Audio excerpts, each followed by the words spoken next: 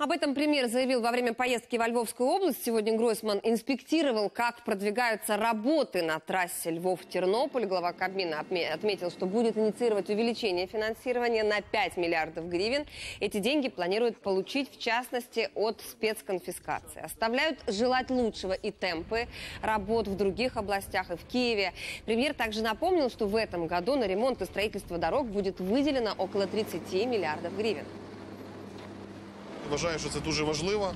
Це будівництво і реконструкція цієї дороги Львів, Тернопіль, е, Хмельницький, Вінниця, Умань і на Одесу. З'єднати е, порти.